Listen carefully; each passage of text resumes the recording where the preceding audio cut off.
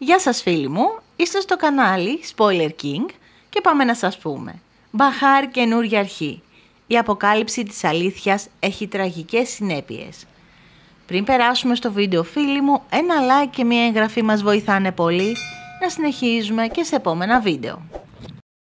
Η αλήθεια. Αποκαλύπτεται και τα τραγικά γεγονότα διαδέχονται το ένα το άλλο. Η ζωή της Ρεγκίν βρίσκεται σε κίνδυνο, ενώ η Μπαχάρ συνδέει τα κομμάτια του παζλ για την απιστία του Τιμούρ. Ο τελευταίος δείχνει το σκληρό του πρόσωπο και στην κόρη του, ενώ παραδέχεται ότι ενώ είναι επιτυχημένος δεν έγινε ποτέ ευτυχισμένος.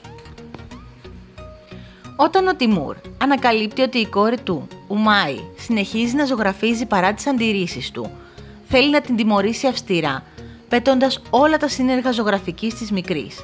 Η Ουμάη καταρακώνεται ενώ Μπαχάρ και Αζίζ μπαίνουν στη μέση για να σώσουν την κατάσταση. Ο Τιμούρ συνειδητοποιεί πως ακολουθεί τα βήματα του πατέρα του όσον αφορά τη σχέση του με τα παιδιά του. Δεν ακούει τα θέλω τους, δεν στηρίζει τις αποφάσεις τους, δεν δέχεται τις επιθυμίες τους.